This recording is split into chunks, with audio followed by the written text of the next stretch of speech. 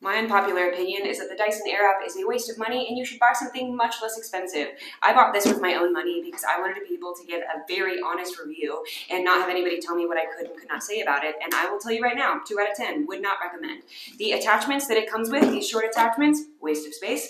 They will curl like the bottom two inches of your hair and anything else requires the longer barrel. This costs 40 extra dollars on top of the $600 I already spent on the product for it not to really work. It does one thing and one thing only it will give you Farrah Fawcett hair, which is a vibe. Not my vibe, I want beach waves. And every piece of advice I've listened to from everybody online does not work. I've tried wrapping it around the barrel, more wet hair, less wet hair, rough dry, no rough dry, longer time on the barrel, less time on the barrel, cool shot, no, I've tried everything. And honestly, I'm gonna stick to my $19 curling iron and maybe go get one of those like Revlon blow dryer sticks, but definitely not $600 worth. Thank you.